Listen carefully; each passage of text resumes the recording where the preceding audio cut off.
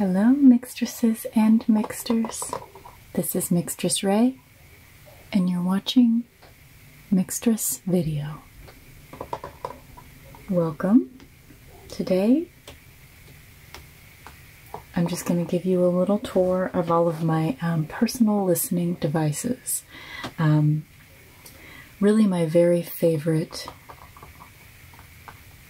one of my very favorite things in this world is being able to just go on a walk with music in your ears. Um, I wouldn't say I'm necessarily a collector, although, as you can see, I have four iPods. Um, but I really, I would love to someday have a transistor radio, which was the very first portable listening device. Um, and if you look that up online, you'll see transistor radios were just little baby radios. You could tune into FM and AM, and they had a headphone jack, traditional headphone jack, like we know today, and you could plug it in and just walk out the door listening to the radio. And those have existed since, I believe, the 50s. But um, my newest is this Walkman here. So I'm going to take you through each of these. They're all in order of when they came out. Um, both of these devices came out in 2004. This was 2000, I believe this was 2005 actually, because this is a second generation mini, iPod mini. So this is iPod fourth generation. This is iPod mini second generation. This is iPod nano second generation, and this is an iPod Nano fourth generation. This is the only one of these items that I got new for myself. I got this back in 2009. It was my first um, Apple product. But I'm going to start with talking about this. And it came out, I believe, 1980. It's sometimes hard to source those things, but this is a Sony Walkman WMAF22. There you go. It's got the rewind fast forward and stop and play. On top here you can see the volume knob. Tuning for FM radio, the headphone jack, and you can change the tape type from normal to metal. So depending on what type of tape you're listening to. Over here on this side.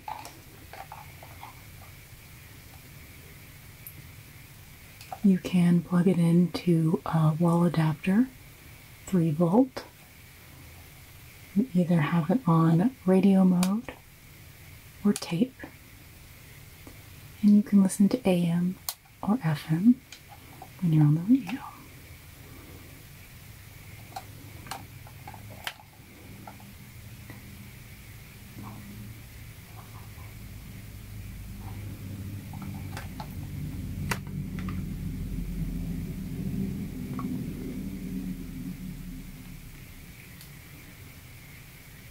This is in good working order.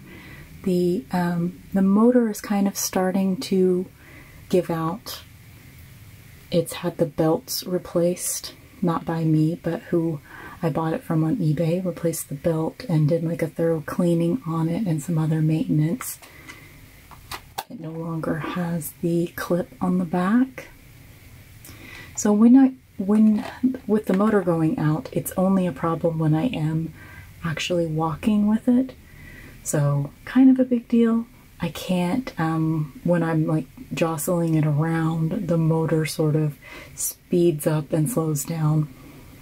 So it's not great for, um, for walking with. So I do plan to get a new Walkman at some point. It's hard to find a Walkman that doesn't have any issues um, since most Walkmans you can find are going to be from the 80s and 90s, and being that most of them are plastic, um, you kind of run into a little bit of, you know, problems with motors wear out, belts snap, or the belts that are inside are usually made out of rubber, so um, there can be problems with that. There can be a lot of different problems with Walkman, so if you're looking into getting one, um, it's it can be frustrating to find one that works well, or if you're not able to fix that kind of stuff yourself, but um, there are tutorials online if you want to fix things yourself.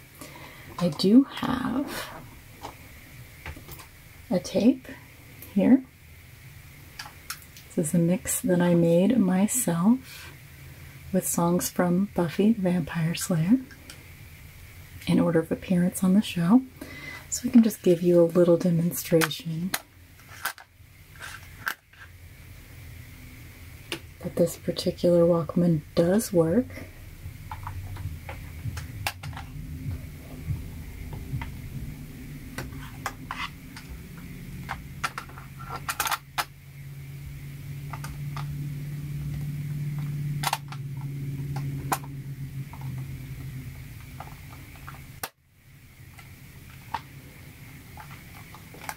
And you can kind of see it moving on a brush play.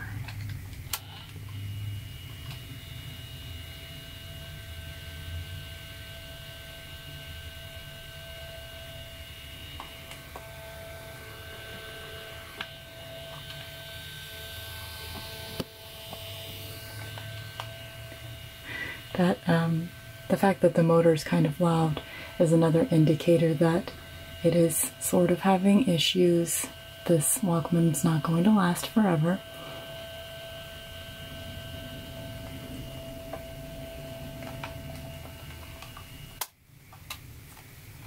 So there's that. I will move on now to the iPod Mini. Nope, iPod fourth generation. So this guy right here.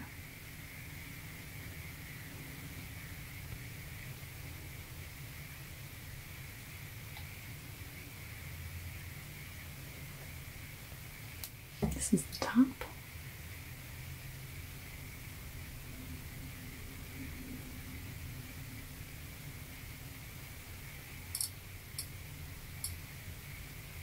There's me. Hi.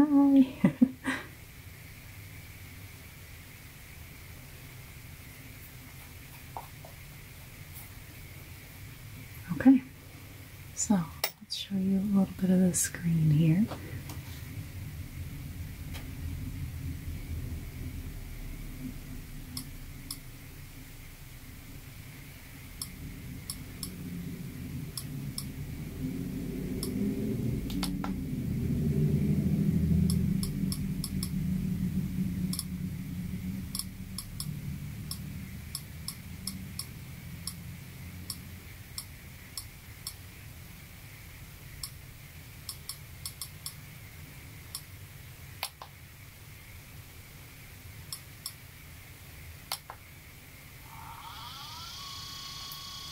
As you can see, this one sort of has a loud motor too. This um, this is the only iPod that I now own that has um, a hard drive, moving hard drive. The rest of them have um, they have flash drives in them. These two iPod Nanos, they came with flash drives, but this um, I have modified myself, which you can see the video with me doing that um, on my channel if you'd like. So this particular iPod, the reason that I like it is because of the font. I think it's really cool. And it just reminds me of, um, we always had Mac computers in my school growing up. So it reminds me of that. Here we have the, um, this is my favorite iPod. This is the iPod mini second generation. You can tell that it's a second generation anytime you're looking at an iPod mini because the colors of the buttons on the click wheel will match the color of iPod.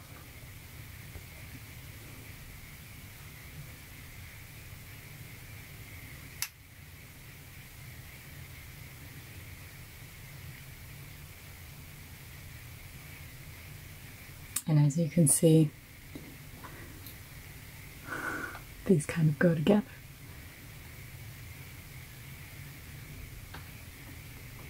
This um, little mixtape design that you see on the back of these two iPods is from a photo that I took myself. Um, and this was, I think, GelaSkins. I had it made into like an iPhone case at one point. Um, I think that's what these are. This is from.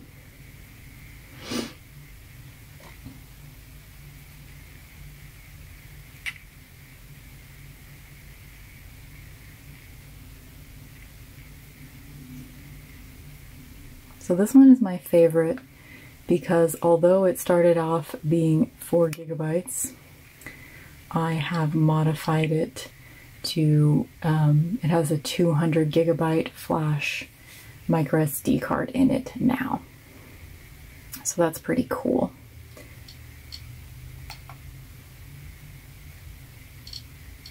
Let's do play something from the All Hallows Eve mix since Halloween is coming up for me right now, although I might not be able to get this video up until a little after.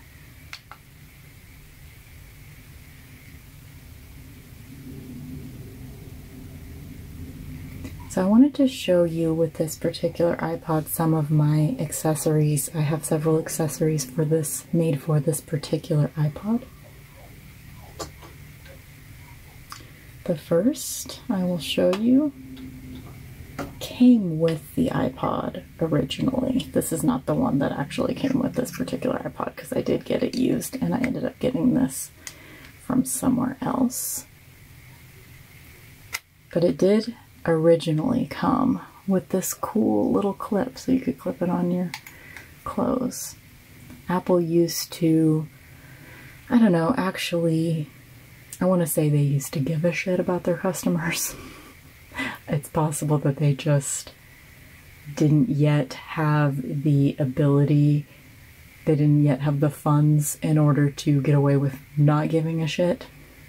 So they would do special little things like this, like include the little clip in their um, devices. I love this iPod so much. It has um, one of the older Wolfson DACs, I believe, um, which this one might. I don't think it does. I think these two have the the newer DACs that aren't as aren't as warm sounding. Um, so it just sort of sound music just sounds a little bit better on these first two iPods. So that is the so I was I'm really happy that I could take it apart and upgrade it with 200 gigabytes because I now have my entire music collection on this iPod. You know, as far as how many iPods I need in my life, this is really the only one I need. Um, this is the one that I would replace if something happened to it, and I've actually replaced it once already because I dropped my first one into the pool the first summer that I had it so I immediately bought another one and upgraded it. Um, so that's the clip. I'll take this off without making too much noise. We'll see if that's possible.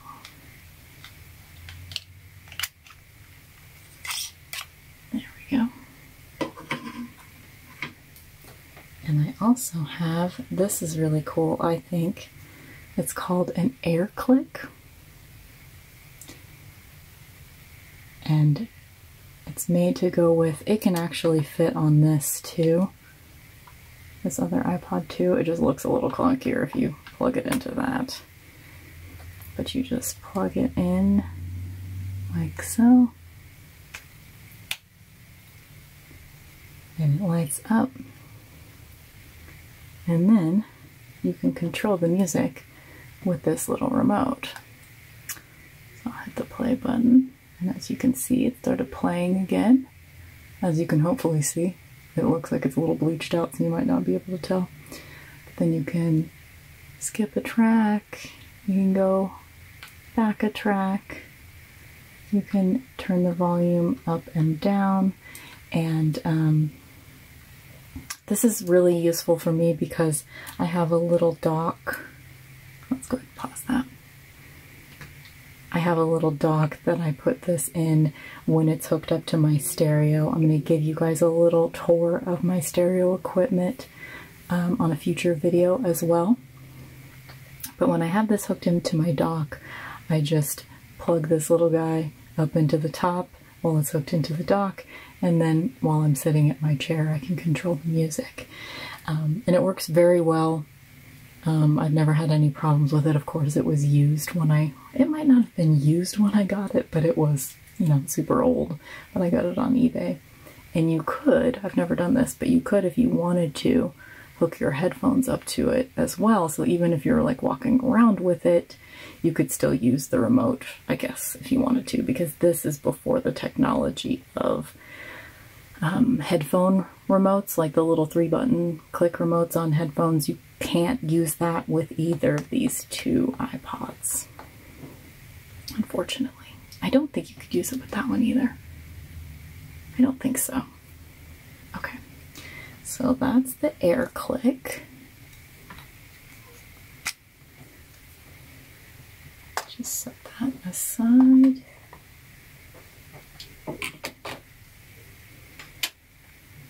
And I will show you the final accessory, which I think I didn't bring in here. So let me go grab it really quick. And this is the case that I usually have. Oh, this guy's, this guy's laboring over here. Let's go ahead and pause him. And it's a, it's a coach leather case.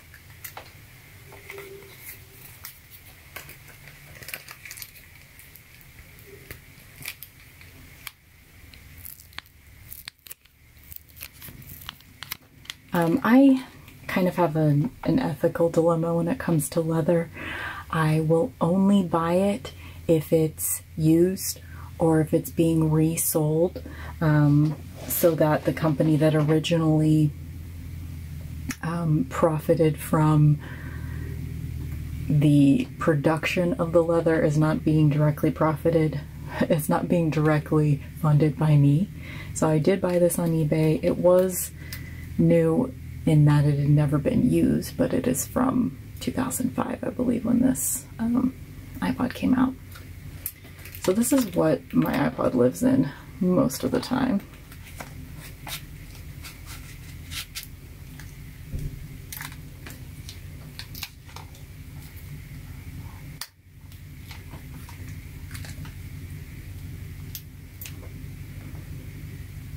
Unless it's in its dock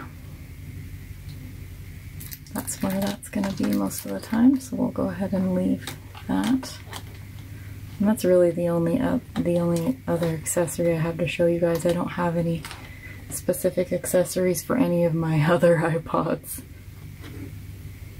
This one I will not be able to turn on to show you because it has um, the batteries completely dead on it. I bought this little guy, the second generation, 4 gigabyte iPod Nano. I bought this little guy um, maybe about six months ago or so, maybe a little bit more. And I got it for the express purposes. That's why I put this little Sleepy Pusheen sticker on it. And I got it for the express purpose of I loaded it with um, lots of ambient tracks and um, just some like low key kind of bedroom playlist because I leave it plugged into my alarm clock um, that has an iPod dock on it. It's like a stereo sort of alarm clock. It's a nice Yamaha. Um, I really like it. Um, alarm clock. So I just keep it plugged into there all the time because it does, um, although the battery is completely dead and it won't turn on right now at all. When it's plugged in, it's completely fine. It just, the battery's dead. So I bought it for like 10 bucks or something because it, um, yeah, since the battery's dead, I bought it for $10 and it works great for me. It's usually actually playing in my bedroom almost 24 7. Um, I use just a little insider information with me. You can find this as well for yourself if you would like. There's a YouTuber called Ender for Life, E N D E R, um, the numeric four, and then life. And he or she creates um, ambient, like Star Trek sounds of varying, varying time lengths and encourages people to download them for free to use for whatever they want. You can actually hear the eight hour um, track of the the next generation Star Trek um, sleeping quarters. It's like an eight hour track of just like the ambient sound in the background of the sleeping quarters on Star Trek. And I play that when I'm sleeping. And you can actually hear it in the background of my 2018 corset collection video because it was filmed in my bedroom and I just still had it on because I just, I sort of like it to be the soundtrack of my bedroom.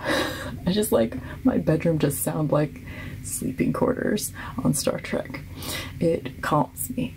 So um, this little guy, even though it's the one that doesn't have a working battery, and it's probably the it's the one that I bought for the cheapest. It is the one that is used the most because it's playing at minimum eight hours a night, but sometimes it's playing 24 hours a day. so this one is played all the time. And then this guy is the only iPod, like I said before, that I bought new when it came out um, or shortly after it came out. So I am the only owner that this iPod has ever had. It is a fourth generation iPod Nano. And I had, I was pretty into Lady Gaga at the time. So it is named Disco Stick. And what I mostly use this guy for these days is podcasts because I, I still use this every week. And I just load all of my podcasts for the week on it.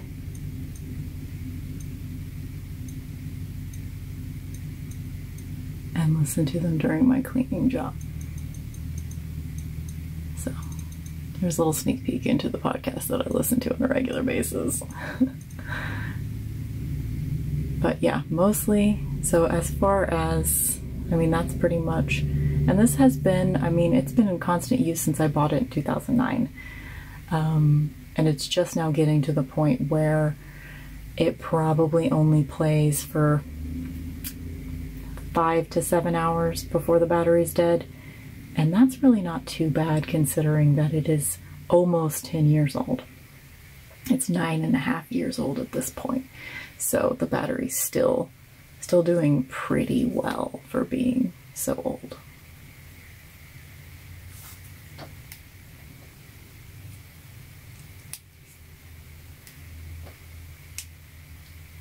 And I, you know, it still, I sync it at least once a week, sometimes more, to put more podcasts on it. So it um, has really been a good little guy. It's been through a couple of drops. It has had a case on it most of its life, but um, the case recently broke, so I took it off and now I'm just using it without a case. So the primary uses that I have for each of these items. Right now I'm not really using this. I had to put batteries in it for this video actually um, because of the motor being kind of inconsistent. I don't really use this because uh, what I would like to use it for is it's a Walkman. I'd like to take it on walks. so this is primarily not in use and I might get rid of it. Um, so I'm not sure yet. This is also primarily not in use. Um, and it was sort of an extraneous purchase. I basically bought it because I really like the font on it um, because it's unique and nostalgic. Um, but I keep it around as sort of a backup. So actually that's a good time to show you. What I keep this in most of the time is this really cute little, it was meant to be like a wallet slash iPhone holder from the iPhone 5 size days. So I can't fit my current phone into it because it's too small. But it's a pretty good size. Just slide this little guy in.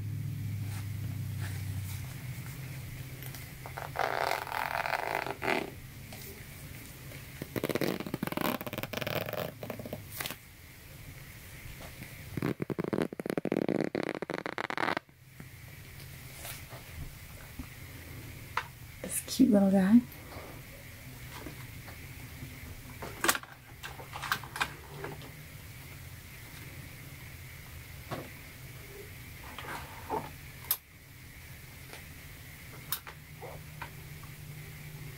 It's too heavy on my keyboard to have both of those things stacked. So we'll just set this down.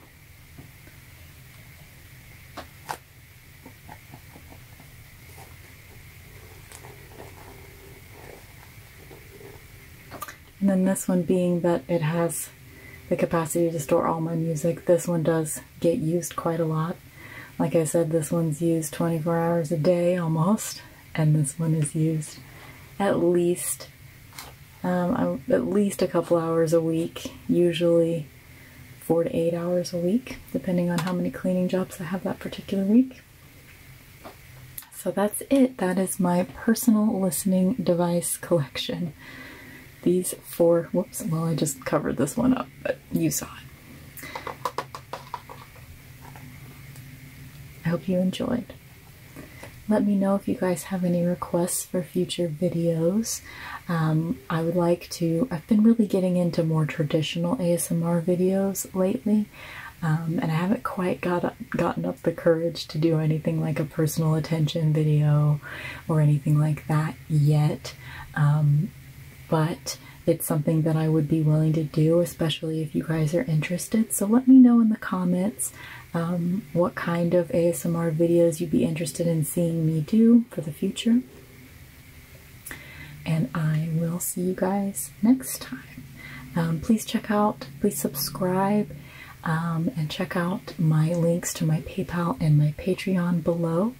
Um, I'm currently I bet you guys have noticed that the shot has sort of went wonky, like slowly sliding off in this direction over the course of the video. And that's because my tripod, I wish you could see it. it's held together with duct tape and yarn right now because I just, I had to tie it to a certain, because it's broken. so I had to tie it together so that it would stay together to make the shot and it's still sort of sliding. Um, I want to mess with it so bad, but it's it's broken, so it's just it's not gonna be good if I try to mess with it right now. Um, so if you would like to donate to my PayPal or become a patron on my Patreon page, um, that can fund things like for instance, a new tripod. I would also love to have um, a video camera that is a digital video camera specifically for my YouTube channel. Um, right now I use my phone if it's a digital video and I have an old camcorder from 2001 that I use if I want to make like a more retro looking video and you can see I have a couple of those um, videos up on my channel as well. So let me know if you'd like me to use that camera more often as well. I've had it since I graduated high school and it still works and I do like using it, but it would be nice to have a digital camera camcorder that is just for use for this channel. Um, so yeah, become a patron if you'd like to support future ASMR videos. Um, you can do that patreon.com slash mixtressrae and that link is in the description notes as well. I hope you guys have an awesome week or month or couple of weeks until next time. Bye.